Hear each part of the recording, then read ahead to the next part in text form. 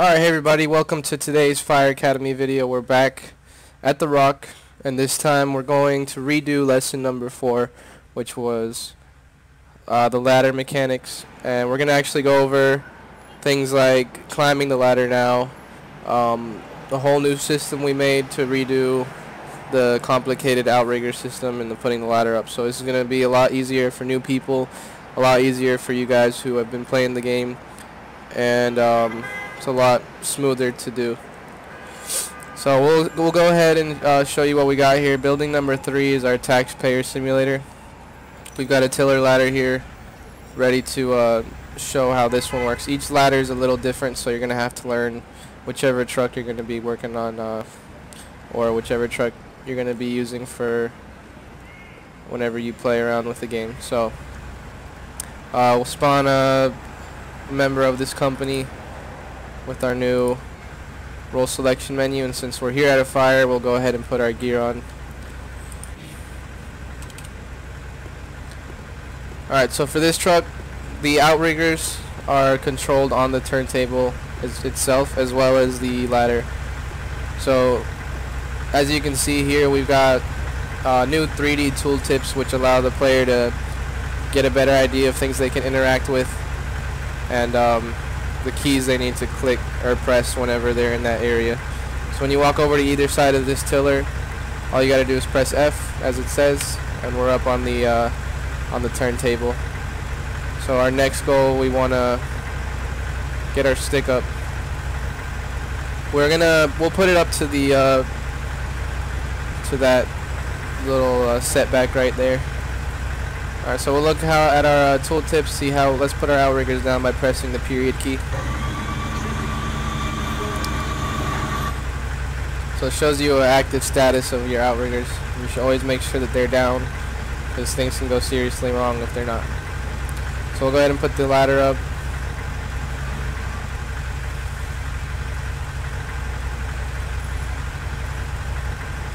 Alright, so we've got our ladder set up we're going to go ahead and uh, show you the new feature of climbing the ladders that we added. Some we worked on uh, the last week. And uh, we'll go ahead and show you, but keep in mind that these animations are all to be redone in the future. Our main priority is getting things to work right and then making it look good. So we want to get all the mechanics of the, the game looking or working correctly with uh, placeholders and then we're gonna go back with professional animators and redo um, a lot of the things such as this animation that needs to be redone. So we're at the top of the ladder. We can go ahead and climb down. Like I said animations when we climb off that ladder they'll be put um, in place. We can always climb back down the ladder which I'll go ahead and show you now. Just press C. Now I get on the ladder. I apologize for the camera moving around really weird but this is a work in progress. But so far we feel like we're in front of any other emergency game to date. So that's that's something that is really exciting to me.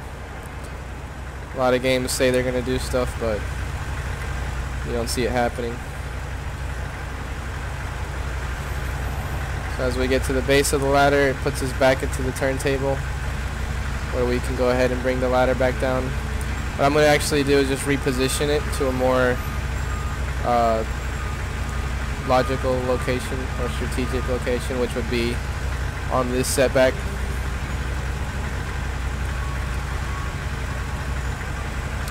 But what I'm going to do now is go grab another truck. I'll show you what it looks like to climb at this angle. I'll go grab uh, the rear mount truck and then we'll bring in the tower ladder. Each truck has its own different mechanics, so um, just stay watching the video so you can get an idea of how they work. So we're on the roof here, we could bring out the, the roof saw, do some ventilation. It's all stuff we can't wait to integrate. So I'll go ahead and uh, head over to 66 truck or the rear mount uh, chauffeur training school truck.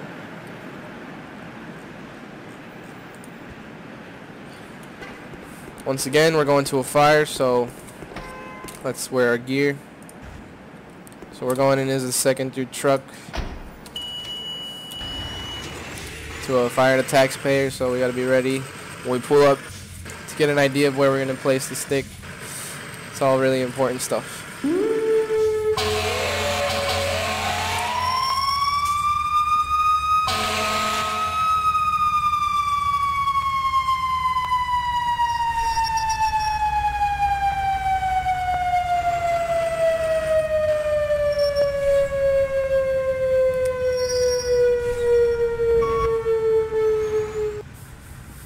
Alright, so we've just pulled up to the fire.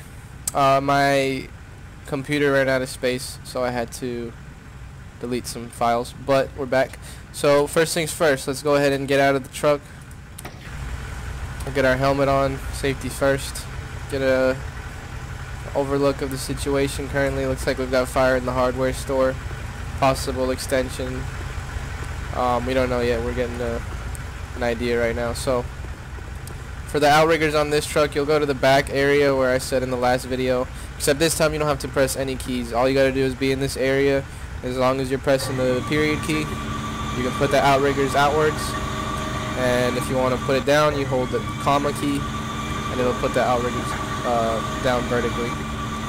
So we can climb up either one of these ladders as it says with our new tooltips. Makes it obvious.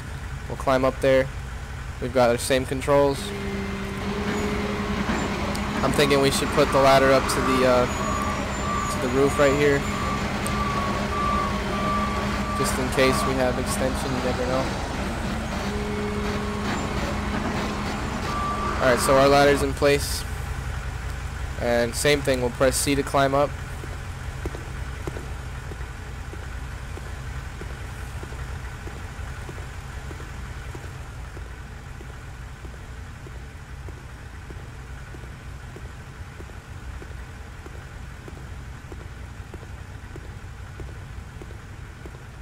As we reach the top of the ladder, we hop off.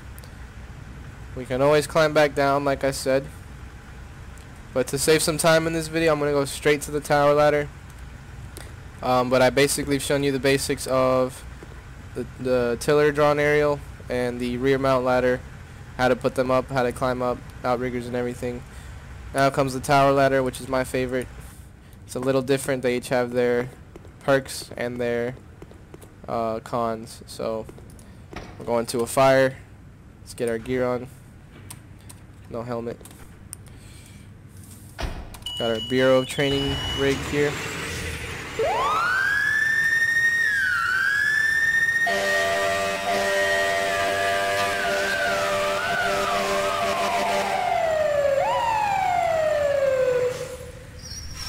Probably should have came in the other way, but this works. Alright, so what we're going to do is I'm going to show you some cool new things that we've done on the tower ladder.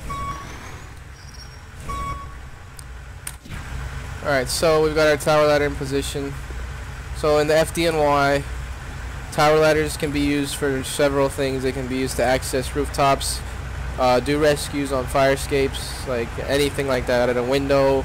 You can even use it to put water on a fire through a window, from the roof, from even ground level. So we've we've reflected that in this game.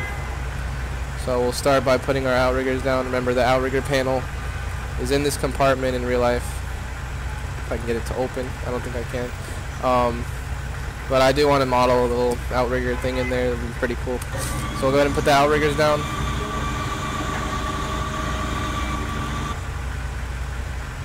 It'll let us know when they're locked in in place.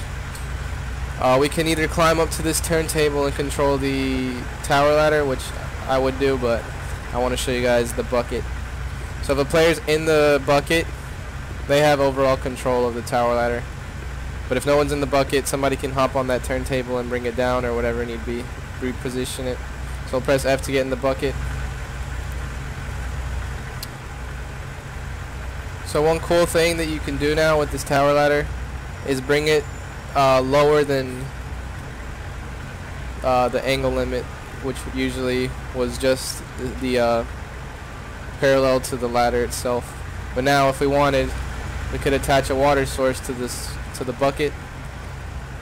We could bring the bucket down here and put water on the fire without even uh, if we have a heavy amount of fire where we have other lines protecting exposures and we don't have a line to put on this uh, on this body of fire. We can bring a tower ladder in give it some water and put water on the fire this way. So it's going to be a pretty cool uh, thing that you guys will be able to do.